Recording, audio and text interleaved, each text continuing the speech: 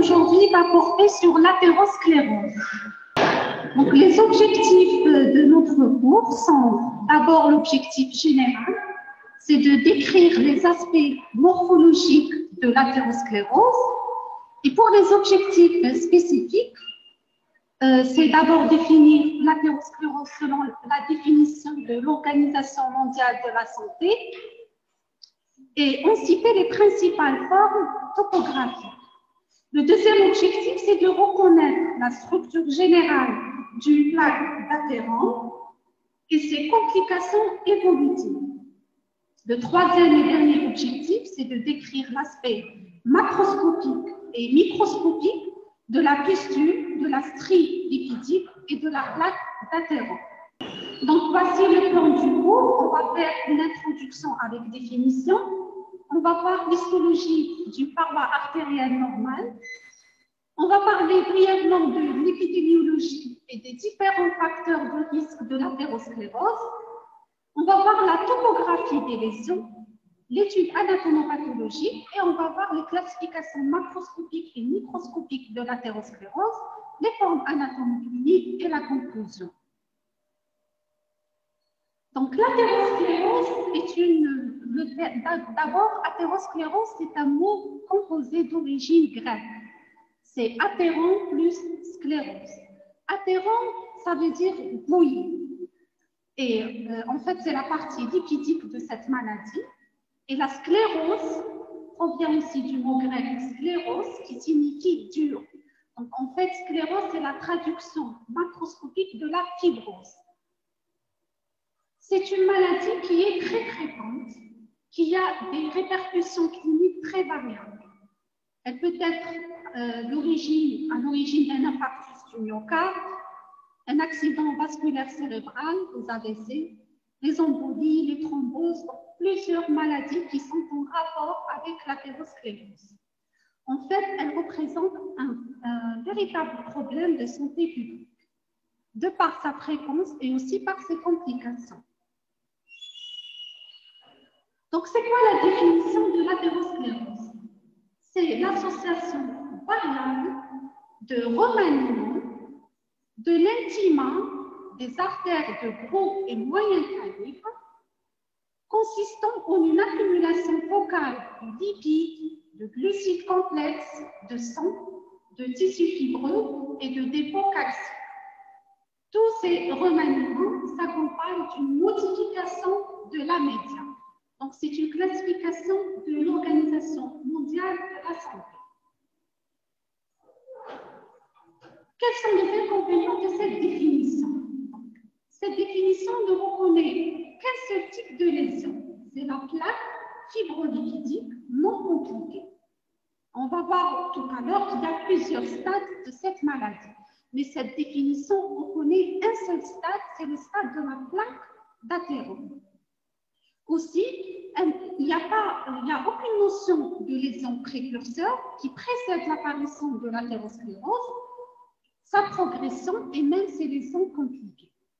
Son avantage, c'est qu'elle soit purement descriptive et morphologique, donc elle est toujours d'actualité. Cette définition est très ancienne de l'Organisation mondiale de la santé, mais elle est toujours d'actualité parce qu'elle décrit la morphologie de l'athérosclérose. Elle prend aussi les grandes caractéristiques des lésions de l'athérosclérose. C'est quoi les grandes caractéristiques? C'est d'abord son siège dans l'intima, et aussi les territoires de prédilection, c'est les artères de gros calibre et de moyen calibre.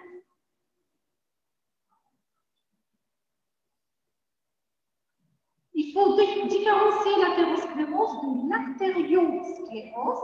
Donc, artériosclérose, c'est un épisysme diffus de l'intima sans dépôt lipidique. Quand on dit athérosclérose, on l'a dit tout à l'heure, c'est un mot composé Athéro, c'est lipidique, sclérose, c'est fibrose. Artériosclérose, il n'y a que la fibrose. Il n'y a pas la composante lipidique. La médiacalcose est une surcharge calcique au niveau de la média, insuffisance rénale et par hypercalcémie. On a vu tout à l'heure que l'athérosclérose va intéresser quelle couche au niveau de l'artère L'intime. Donc, médiacarpose, c'est la média. Et enfin, la hyalinose, qui correspond à un de l'intima, caractérisé en microscopie optique par un aspect homogène vitreux et éosinophile de la paroi. Donc là aussi, il n'y a pas une composante liquidique dans la hyalinose.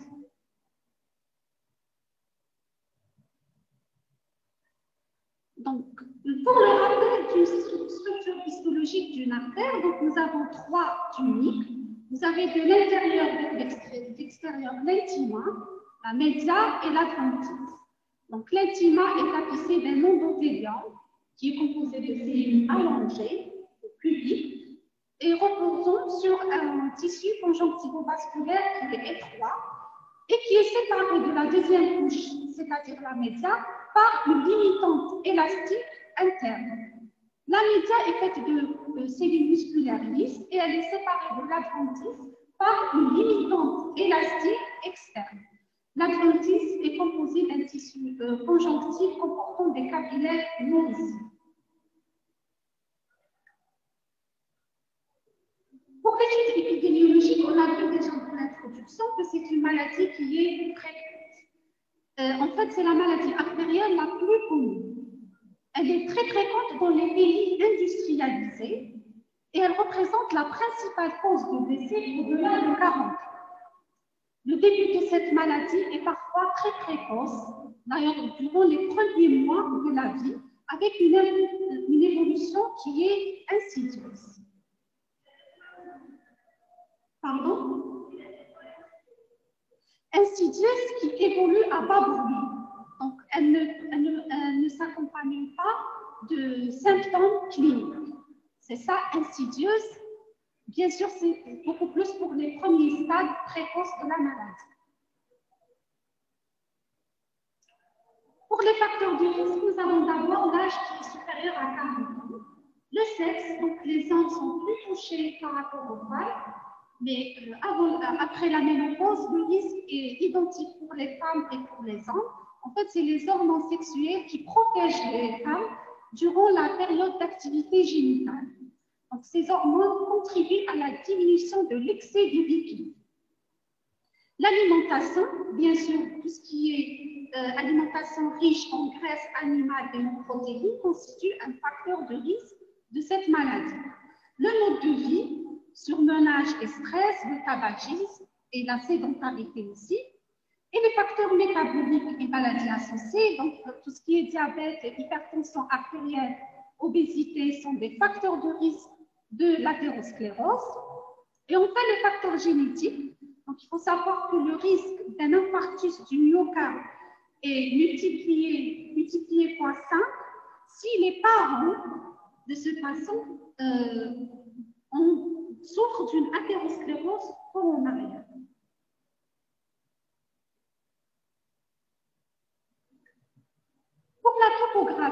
donc on a vu dans la définition de l'OMS, pour ça qu'on a parlé davantage de cette leçon parce qu'elle a très bien défini le siège de cette maladie. Donc l'athérosclérose va toucher l'aorte et aussi les grosses et moyennes artères, à savoir les carotides internes, les coronaires, l'artère subclavienne, les artères rénales. Donc tous les artères de gros et moyen calibre peuvent être touchés par cette maladie. Dans les zones de turbulence, donc ces zones sont des sièges de prédilection pour le dépôt des liquides, donc tout ce qui est bifurcation et même le point de naissance des collatérales euh, des artères. Au niveau des membres, c'est les membres inférieurs qui sont touchés.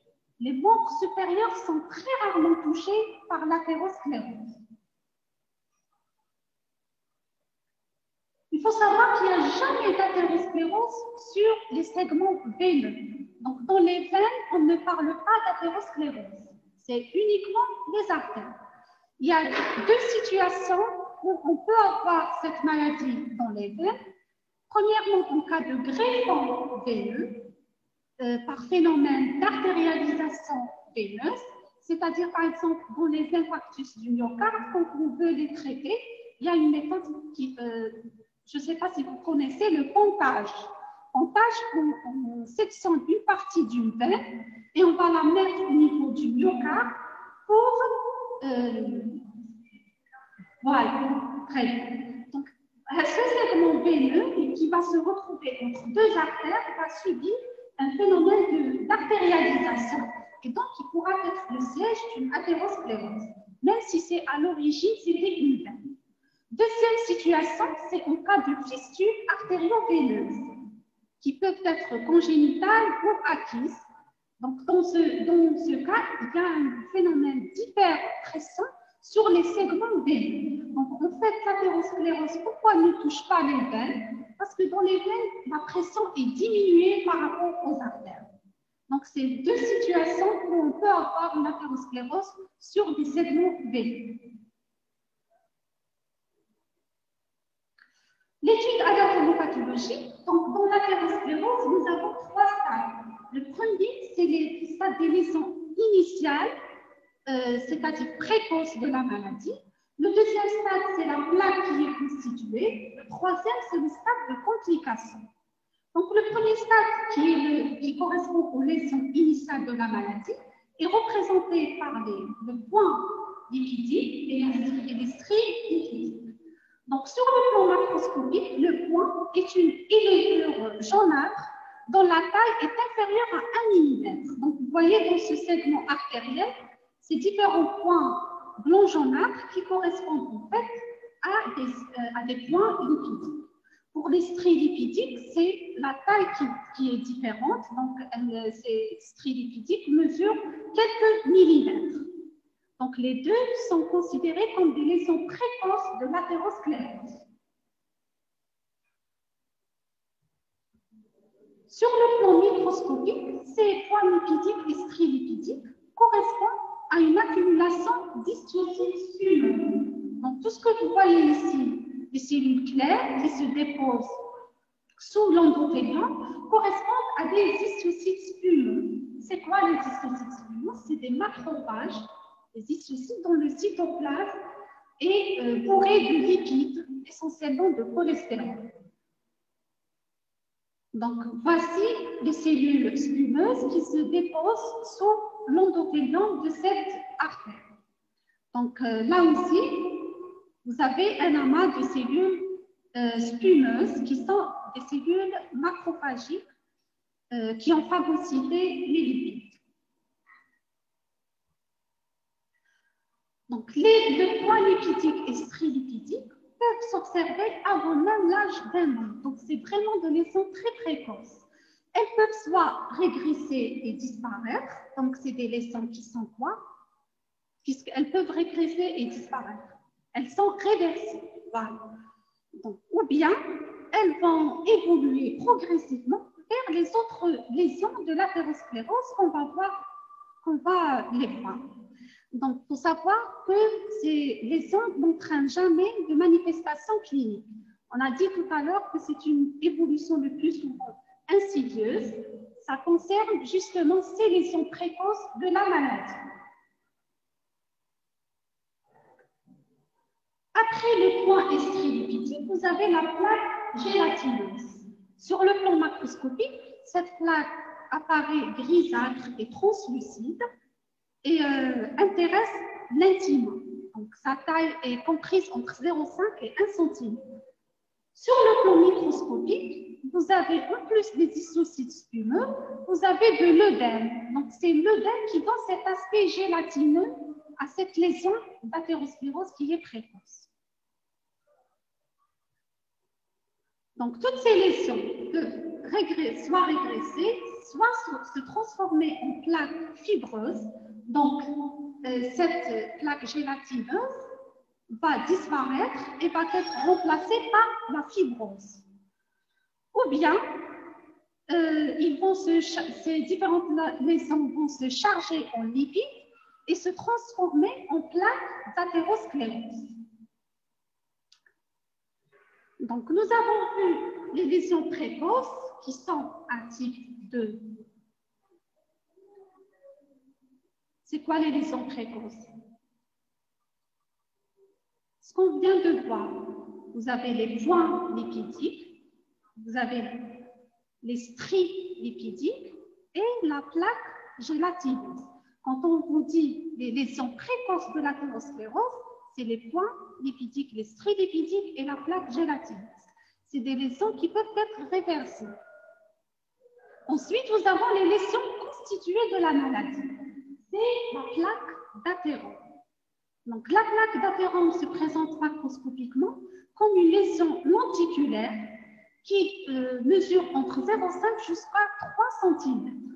Donc, la surface de cette plaque d'athérome est généralement lisse, mais quand la taille est importante, elle devient irrégulière.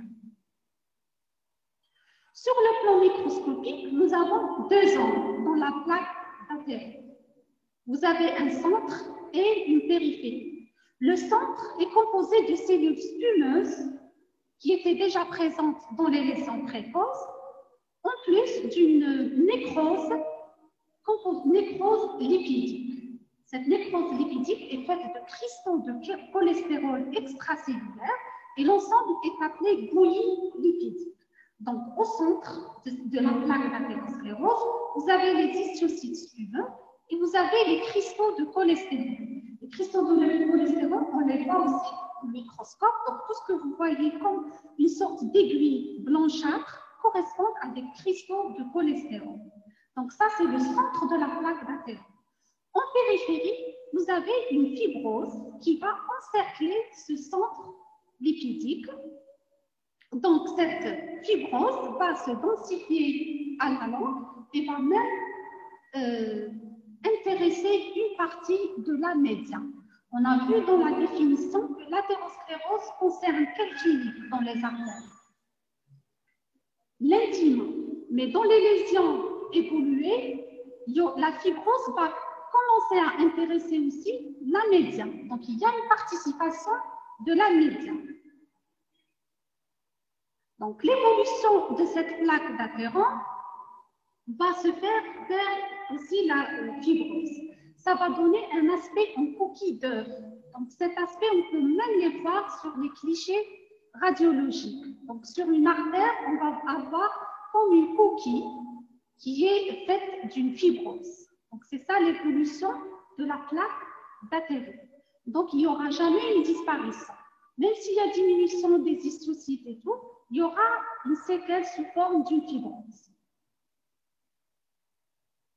Maintenant, on a vu les lésions précoces, les lésions constituées qui sont la plaque d'adhérent, et maintenant, c'est les lésions compliquées de la maladie. Donc, on l'appelle aussi plaque d'adhérent qui est compliquée. C'est quoi les complications? D'abord, l'ulcération. Donc, cette plaque qui comporte un centre lipidique est entourée de fibrose va s'ulcérer. C'est la première complication. Ce que vous voyez ici, c'est une plaque avec une ulcération. Donc, cette ulcération va mettre, euh, est due à une destruction partielle de l'endothélium et qui va mettre la plaque d'adhérent en contact avec le milieu interstitiel. Deuxième complication, c'est l'hémorragie et l'hématome intraplaque par formation d'un hématome dans la plaque d'athérome ulcérée. Donc, ça se suit. Première complication, c'est ulcération. C'est destruction de l'endothélium qui recouvrait, cette plaque d'athérome. Deuxième complication, c'est l'hémorragie. Donc, à côté de l'ulcération, il va y avoir une vous allez avoir une, de l'hémorragie euh, au sein de cette plaque. Troisième complication, c'est la thrombose. Vous arrivez à m'entendre. Donc, vous avez la thrombose sur la plaque. Donc, vous allez voir dans votre euh, cours, euh, votre prochain cours sur les troubles vasculaires, vous allez voir ces différentes lésions, thrombose et embolie Thrombose, c'est la coagulation de cette hémorragie. Donc, vous avez ulcération, hémorragie et hématome. Ensuite, ce sang va se coaguler. C'est ce qui va euh, donner naissance à une thrombose. Il y a deux types, dans l'athérosclérose, il y a deux types de thrombose. vous avez la thrombose murale et la thrombose oblitérante. Donc là, vous avez une, euh, une thrombose pardon, qui est murale. Ça concerne les artères de gros calibre, comme par exemple l'aorte. Donc ce, ce, ce, thrombus ne va pas obstruer totalement la paroi de ce gros vaisseau. Contrairement à la thrombose oblitérante, ce que vous voyez ici, c'est un thrombus qui a oblitéré complètement la paroi artérielle. Donc, ça concerne généralement les artères de moyen calibre. Ensuite, vous avez les embolies. Les embolies sont de deux types. soit de type athéromateux, soit de type fibrinocruorique. Embolie, c'est quoi? C'est la migration d'un corps au niveau de la circulation. Donc, dans l'athérosclérose, on a dit il y a deux types, athéromateux et fibrinocruorique. Athéromateux, il est dû à la migration de la, du centre de la plaque d'athérome. Donc, dans ce cas, euh, cet embol, il est constitué de quoi? De lipides. C'est pour ça qu'on l'appelle embol de type athéromateux. C'est le centre de la plaque d'athérome qui va migrer dans la circulation. Le deuxième type, c'est les embolies fibrino-cruoriques. Dans ce cas, c'est le, le, le, thrombus, c'est le sang qui est euh, coagulé, qui va se détacher et va migrer dans la circulation. Donc, dans l'athérosclérose, vous avez deux types. Euh, de type athéromateux ou fibrino-cruorique. C'est bon? Donc, quand il y a embolie, c'est-à-dire migration de ces corps dans la circulation, il y aura des conséquences ischémiques sur les tissus et organes qui sont situés en aval. Quand il a embolie par détachement de ces différents types euh, de, de, de, thrombus, donc il va migrer dans la circulation. Ensuite, il va atteindre un vaisseau dont la taille ne lui permet pas le passage. Donc cet embol va s'arrêter. Et quand il va s'arrêter, il y aura des lésions d'ischémie dans le tissu ou l'organe qui est irrigué par euh, cette artère. C'est bon? Donc c'est pour ça que l'athérosclérose est responsable des infarctus du myocarde, elle est responsable des AVC hémorragiques, notamment par ses complications. Si vous avez un embol qui soit fibrinocruorique ou athéromateux qui va migrer dans la circulation et va atteindre par exemple le cerveau, il va obstruer une artère cérébrale, donc il y aura une ischémie dans le parenchyme qui est irrigué par cette artère, et c'est ça les, accidents vasculaires cérébraux. L'anévrisme, donc c'est une autre complication ici de l'athérosclérose, donc, l'anévrisme est définie par une poche. Donc, ce que vous voyez là, c'est une poche formée euh, qui est formée au dépend de la paroi d'une artère et dont la cavité va être euh, euh, remplie de sang. Donc, en fait, pourquoi il y a apparition de, cette, de cet anévrisme? Parce qu'il y a une fragilisation de la paroi de l'artère. Donc, elle, elle, va, elle va devenir très amincie elle va se dilater et elle va former une poche. Donc, les complications là aussi des anévrismes sont la rupture. Donc, cette poche qui est très fragile peut, euh, peut être rompue et elle sera responsable d'hémorragie. Donc, et elle peut aussi être responsable si c'est un anévrisme qui est important. Cette complication peut être responsable même du décès. Il pas c'était sur une pièce en médecine légale d'un homme qui est décédé, il y avait toute une hémorragie au niveau de, du médiastin qui a formé un gros caillou. Donc, c'était par rupture d'un anévrisme. Donc, pour la classification, c'est bon pour les lésions de l'athérosclérose. On a dit lésions précoces, lésions de la plaque constituée, et vous avez les lésions compliquées. Précoces, on a vu le point lipidique, les strilipidiques et la plaque gélatineuse. Ensuite, vous avez la plaque d'athérome euh, proprement dite, avec le centre lipidique et la fibrose tout autour. Ensuite, vous avez le stade de complication. C'est la plaque compliquée. On a vu plusieurs types de complications, soit ulcération, hémorragie, thrombose, vous avez l'embolie et vous avez aussi les anévrismes. Pour la classification macroscopique, donc l'OMS, l'Organisation mondiale de la santé, propose quatre grades macroscopiques. Le grade 1, 2, 3, 4. Le 1 correspond au stade débutant, donc il correspond surtout au stri lipidique. Le grade 2, c'est le stade moyen de la maladie. Il est constitué des plaques d'athérosclérose non compliquées. Le stade 3, c'est les plaques ulcérées et nécrosées avec hémorragie. Et le, et le grade 4, pardon, c'est les plaques qui sont massivement calcifiées et ulcérées. Donc, si vous retenez les différents aspects qu'on a vus tout à l'heure avec les différents stades d'évolution, ces classifications sont très faciles à retenir. Il faut juste faire la correspondance.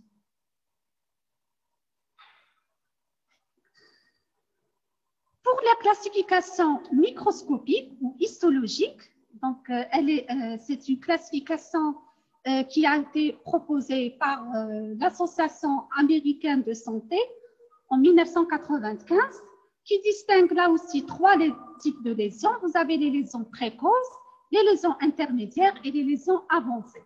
Précoces avec type 1 et type 2.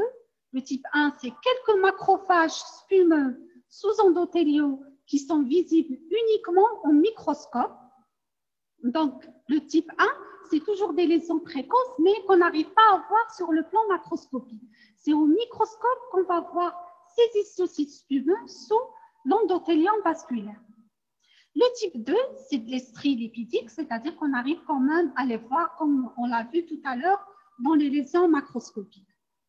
Pour les lésions intermédiaires, vous avez le type 3. Il, euh, il, correspond, ce type, à l'accumulation de lipides extracellulaires en faible quantité. Et pour le type 4, 5, 6, qui correspondent aux lésions avancées, c'est ces différentes évolutions qu'on a vues tout à l'heure. Donc, pour les formes anatomocliniques, vous avez l'athérosclérose aortique ou centrale. Donc, les lésions vont intéresser l'aorte. Donc, euh, au niveau de l'aorte, généralement sous-diaphragmatique ou euh, aorte abdominale. Donc, on a vu déjà tout à l'heure que les membres inférieurs sont le plus souvent touchés. Les membres supérieurs sont rarement touchés par l'athérosclérose. Donc, quand il y a atteinte de cette aorte abdominale ou sous-diaphragmatique, euh, il y aura une insuffisance circulatoire au niveau des membres inférieurs. Bien sûr, c'est l'aorte sous-diaphragmatique, donc c'est les membres inférieurs. Elle va se traduire par la claudication intermittente vous avez déjà fait dans la sémiologie. Donc, l'audication intermittente, c'est des patients qui, euh, lors de la marche, une certaine distance, ils vont euh, ressentir des douleurs au niveau des membres inférieurs. Pourquoi? Parce que il y a une diminution du calibre de ces artères, donc il y a diminution de l'apport du sang artériel. Donc, il dit diminution du sang artériel, c'est-à-dire qu'il y a un manque d'oxygène. Donc, c'est ce qui fait cette claudication intermittente. Donc, quand, euh, l'atteinte va toucher l'artère abdominale, elle va se traduire par une claudication intermittente des membres inférieurs. On peut avoir aussi une cyanose des téguments avec abolition des ponts fémoraux. Donc, tout ça est dû à cette obstruction par la plaque d'athérosclérose. La deuxième forme, c'est l'athérosclérose périphérique. Donc là, l'athérosclérose va intéresser les artères viscérales et les collatérales de l'aorte des membres toujours inférieurs. Là, les conséquences sont, euh, dépendent du degré de l'obstruction. Donc, si vous avez, par exemple, les artères coronaires, les artères coronaires qui vascularisent euh, le, le cœur, donc, quand il y a obstruction de ces artères coronaires, ça va se manifester soit par une crise d'angor ou carrément un infarctus du myocarde, toujours par diminution de l'apport du sang artériel. Si vous prenez les artères carotides et le polygone de Willis, là, on va avoir un accident vasculaire cérébral. C'est l'angine de poitrine. Voilà, c'est l'angine de poitrine. Lors toujours d'un effort. C'est lors de l'effort que les manifestations cliniques de l'athérosclérose apparaissent. Parce que quand on est au repos, donc les tissus n'ont pas vraiment besoin euh, d'une grande quantité d'oxygène. Mais c'est lors de l'effort qu'il y a euh, euh, un besoin accru en oxygène, mais puisque ces artères sont diminuées dans leur calibre, il y aura apparition de ces différents symptômes. Pardon? Il y, a des, il y a des symptômes cliniques qui permettent de la distinguer. Crise d'encore, elle a une symptomatologie particulière. Donc, c'est des malades qui viennent, euh, qui ont... Voilà, lors d'un effort. C'est lors d'un effort. Quel que soit le type d'effort. En conclusion, voilà. Donc, l'athérosclérose est une maladie, on a vu des grosses et moyennes artères, qui est extrêmement fréquente. Donc, en fait, la gravité de l'athérosclérose réside dans ses complications. Donc, les conséquences qu'elle va entraîner. Donc, elle constitue, on a vu, un, problème de santé publique. Ces lésions sont, euh, évoluent progressivement. Nous avons vu que les lésions précoces peuvent être réversibles, contrairement aux lésions d'athérosclérose de la plaque d'athérome constituée et même des complications. Donc, ces complications, on a vu, elles peuvent être très graves, même euh, euh, retentir sur l'état général des patients, peuvent même entraîner le décès. Et on a vu que les facteurs de risque sont multiples, donc il faudra jouer sur ces différents facteurs de risque pour lutter contre l'athérosclérose. Est-ce que vous avez des questions? Donc il faudra bien retenir les différentes phases euh, de, l'évolution de l'athérosclérose. Quel type de lésions qui peuvent être réversibles? Il faut savoir aussi les complications de l'athérosclérose. Si vous arrivez à retenir ces différents euh, aspect évolutif, la classification macroscopique, ça sera facile, même histologique, ça sera facile. C'est bon?